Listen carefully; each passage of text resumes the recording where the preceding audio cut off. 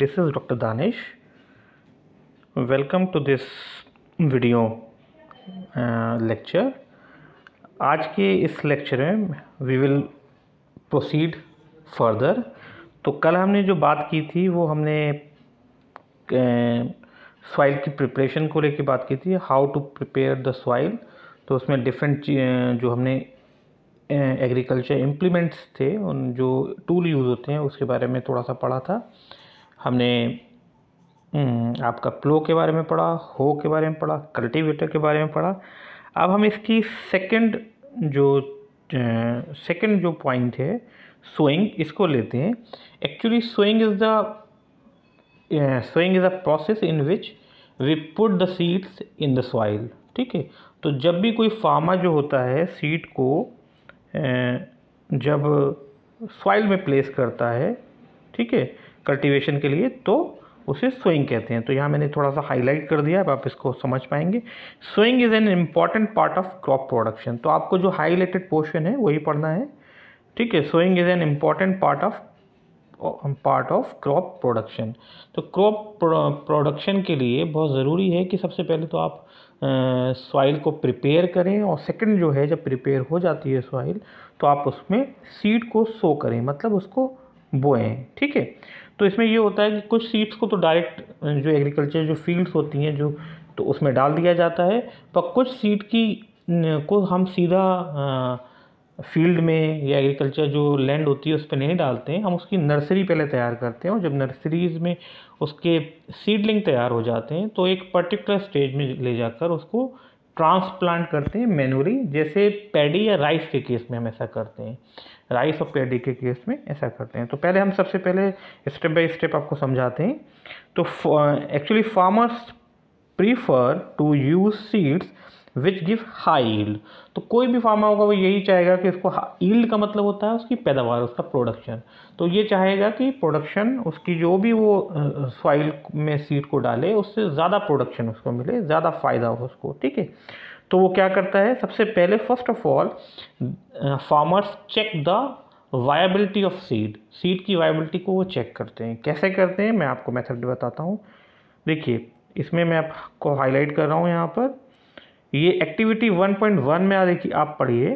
Take a beaker and fill half of the half of it with water आधा आप beaker पानी ले लीजिए। Put a handful of wheat seeds and stir well ठीक है we wait for some time तो उसमें क्या करना है, आपको बीकर में वीट डाल देना है थोड़ा सा और कुछ टाइम वेट करना है। और फिर क्या होगा? वेट करने का कुछ टाइम बाद क्या होगा? इस एक्टिविटीज़ का रिज़ल्ट क्या होगा? कि जो कुछ सीड जो होंगे वो तो सिंक हो जाएँगे, नीचे बॉटम पे चले जाएँगे और कुछ जो सीड्स हैं वो फ्लोट करेंगे ऊपर सरफेस पे फ्लोट करेंगे। तो जो सरफेस सरफेस सरफेस पे जो सीड्स फ्लोट कर रहे हैं, उसका मतलब यही हुआ कि दो seeds are lighter in weight and they are hollow तो जो लाइटर हॉलो होंगे सीड्स वो इसका मतलब आप समझ जाएँगे कि दे आर नॉट वायबल यानी कि अगर इसको डाला जाएगा फ़ील्ड में तो ये इससे प्लांट नहीं बनेगा, ठीक है? इससे प्लांट का प्रोडक्शन नहीं होगा तो वो बेकार ये वेस्ट होगा। तो हम पहले यही करते हैं कि पानी में डाल के जो सरफेस पे सीड्स आ जाते हैं, उनको अलग कर लेते हैं और जो बॉटम पे रहते हैं, उनको फिर डाला जाता है, ठीक है? उनसे पानी को हटाकर, उनसे सेपरेट कर लिए जाते हैं सीड्स पानी से। सोइंग के बाद और फिर उनको सो करा जाता है, ठीक है? तो इसमें अब लिखा भी है damage seize become hollow and are thus lighter therefore they float on the water ये मैंने आपको बता दिया है, ठीक है? अब आपको ये भी समझ आ गया कि आपको कौन सा सीड डालना है सॉइल में। अब आप क्या करेंगे, अब आप मेथड्स ढूंढेंगे कौन कौन से what are the methods which are which might be use by the farmer to sow the seeds in the field okay तो ट्रेडिशनल जो टूल है, इसमें आप क्या यूज़ करते हैं? ट्रेडिशनल टूल में देखिए, आप यहाँ पे पूरा मैं ऊपर करके इसको हाईलाइट करता हूँ। इसमें देखिए, आप ये होता है the tool use traditionally for sowing the seeds is like का फनल एक फनल की तरह होता है। देखिए, इसमें आप फिगर 1.2 ए में देख रहे हैं कि एक फनल देखिए ये जो कैटल हैं, ये कुछ खींच रही हैं, जिसके पीछे एक फनल लगी है तो ये फनल ही होती है। Seeds are filled into the funnel pass down through pipes तो जो हाईलाइटेड पोर्शन है, उसी पे कॉन्सेंट्रेट कीजिए। जो अब सीड्स जो होते हैं, जो सीड्स आपके थोड़े से मॉइस्टेंड हैं, उसको आप इसमें फनल में भर देते हैं और फनल से वो धीरे धीरे वन बाई वन करके जब आप ये चलाते हैं, जो इक्विपमेंट लगाए इसको जब चलाते हैं तो वहाँ पे छेद बनने लगते हैं, पोर बनने लगते हैं होल्स बनने लगते हैं फ़ील्ड में वहाँ पे इन सीड्स को गिरा दिया जाता है वन बाई वन ठीक है? अब हम अगला पेज लेंगे। अगला पेज हमारा क्या है? अगले पेज पे आते हैं। ये हो गया। तो अगला जो है, वो आजकल जो इस्तेमाल होता है मेथड, वो है सीड ड्रिल का। तो seed drill is a, nowadays the seed drill is use for sowing with the help of tractor तो चीज़ें क्या हुई हैं? अब थोड़ा मैकेनाइज हो गई है एग्रीकल्चर इसमें थोड़ा सा हम अपना टाइम सेव करते हैं, अपनी लेबर को सेव करते हैं तो हम ट्रैक्टर का यूज़ करते हैं। और ये एक मशीन है, ये एक आयरन की मशीन है, जिससे सीड को सो करना ज़्यादा आसान है, ठीक है?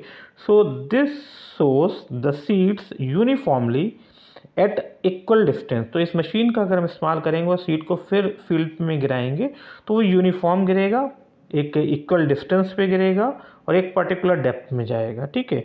And it, this machine also ensures that seeds get covered by the soil. ऐसा क्यों होता है? देखिए अगर हम सीड को डाल के ऊपर ही डाल देंगे और उसको सही से कवर नहीं करेंगे सॉइल से तो बहुत सारी जो बर्ड्स होती हैं वो वहाँ पे आ जाएँगी और वो उसको बर्ड्स के लिए तो ये फ़ूड है उनका। वो इसको यहाँ से पिक कर लेंगी सारे दानों को सारे ग्रेन्स को और आपका जो प्रोडक्शन है वो नहीं आ पाएगा। सीड ग्रो ही नहीं करेगा ना प्रोडक्शन आ पाएगा ठीक है? तो इस तरह से अब ये किया जाता है सीड ड्रिल से। ठीक है अब हम जो आ, मैंने आपको बता चुका हूँ कि ये तो सीधा डायरेक्ट एक ट्रेडिशनल मेथड हो गया एक सीड ड्रिल का मेथड हो गया जिससे हम सीड को सॉइल में सो कर सकते हैं। कुछ जो सीड्स होते हैं वो डायरेक्ट फ़ील्ड में नहीं डाले जाते हैं मैंने आपको बताया और यहाँ पे जो हाईलाइटेड पोर्शन है ये जो एक छोटा सा फिगर दे रखा है इसमें आपने जो हाईलाइटेड पोर्शन है कि seed Seed of a seed of a few plants such as paddy are first grown in a nursery. When they are grown into seedling, they are transplanted to the field manually. तो वही कि पहले इनको nursery इनकी बनाई जाती है और एक पर्टिकुलर स्टेज आने पर इन पूरे सीडलिंग्स को मैनुअली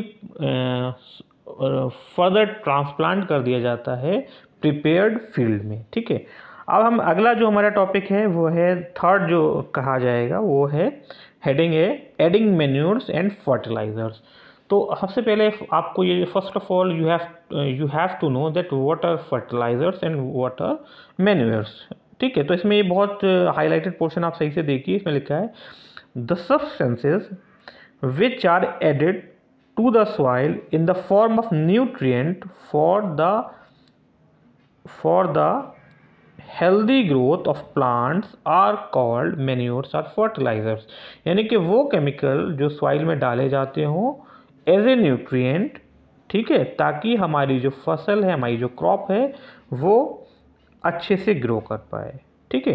तो अब हम, अब आपको समझ में आ गया होगा, कुछ केमिकल को हम यूज़ करते हैं, ठीक है।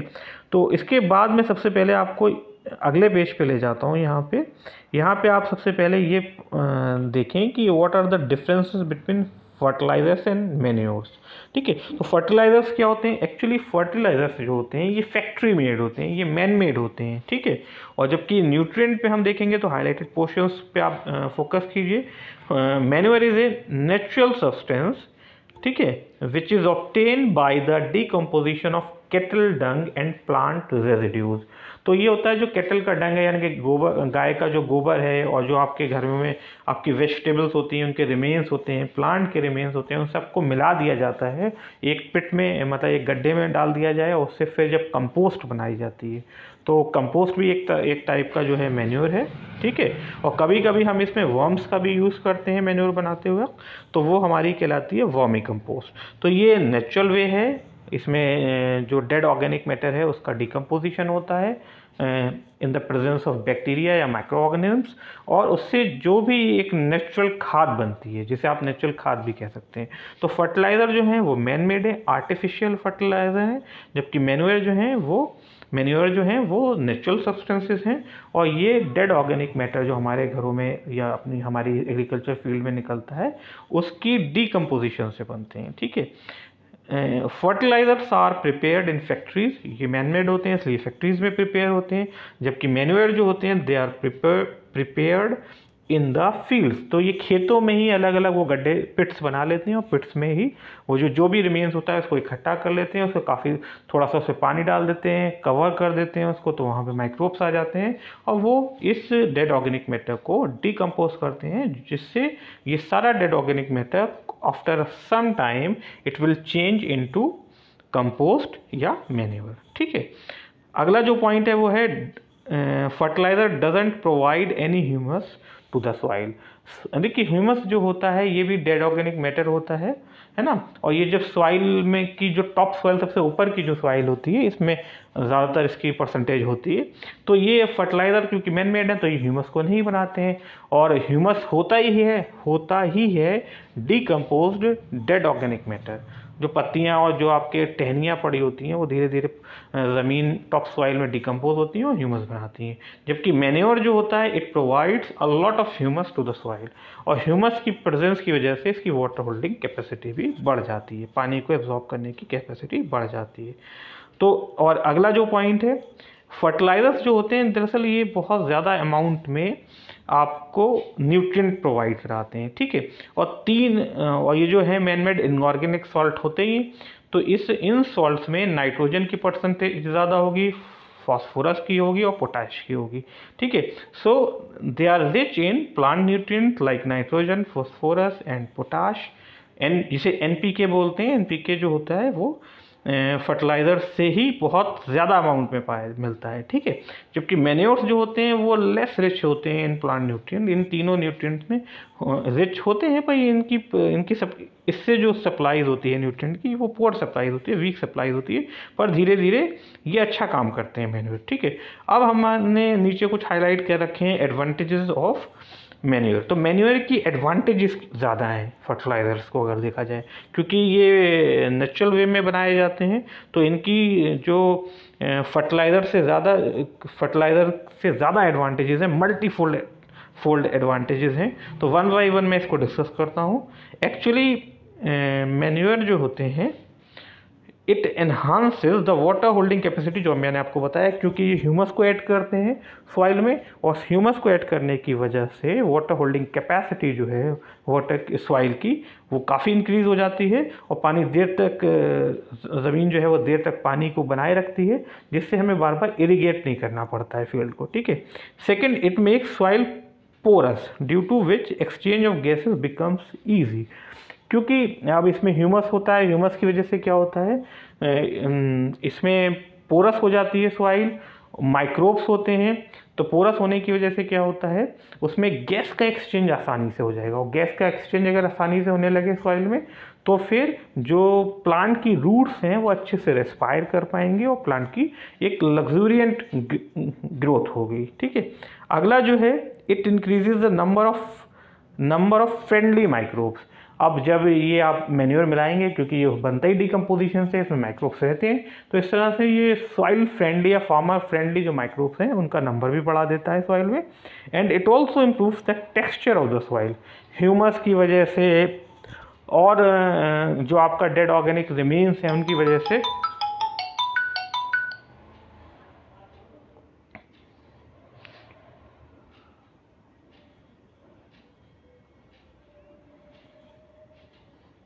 ठीक है? तो सॉरी यहाँ पे किसी की कॉल आ गई थी एकदम।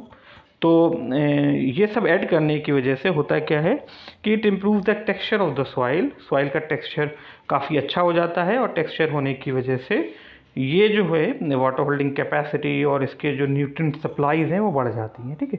अच्छा वो एक चीज़ का मैं और ज़िक्र करूँगा यहाँ पे। मैं पीछे फर्दर मुझे पीछे पेज पे आना पड़ेगा। इसमें एक crop rotation is another method to improve the fertility of the soil इसमें करते क्या है? इसमें क्रॉप को अल्टरनेट ग्रो कराते हैं, ठीक है? Another method of replenishing the soil with the nutrient is through crop rotation This can be done by growing different crops alternatively alternately ठीक है? तो इसमें क्या करते हैं हम? पहले लेग्यूम को ग्रो कराएँगे एज ए फोडर क्रॉप ठीक है? या लेग्यूम को फ़ील्ड में ग्रो करा लें और फिर उसके अगले सीज़न में हम उसी फ़ील्ड में वीट को ग्रो कराएँगे। आपको मालूम है जो लेग्यूमिनस क्रॉप होती हैं, उसमें एक बैक्टीरिया पाया जाता है राइजोबियम और राइजोबियम जो बैक्टीरिया होता है, ये जो होता है कहाँ रहता है लेग्यूमिनस क्रॉप जो होते हैं, जो पल दालों वाली जो फैमिली होती है, दालों वाले जो पौधे होते हैं, उनकी जड़ों की रूट नेड्यूल्स में रहते हैं और ये एटमॉस्फेरिक नाइट्रोजन को फिक्स करते हैं प्लांट के लिए, ठीक है? और प्लांट को नाइट्रोजन जब मिलेगी प्रॉपर तो इसकी ग्रोथ जो है वो काफ़ी मल्टीफोल्ड हो जाएगी, काफ़ी तेज़ी से होगी, काफ़ी रैपिड और अच्छी ग्रोथ होगी। तो ठीक है, आज के लिए इस क्लास में इतना ही रहेगा, ठीक है? अगले फिर क्लास में फिर हम हाज़िर होते हैं जब तक के लिए गुड बाय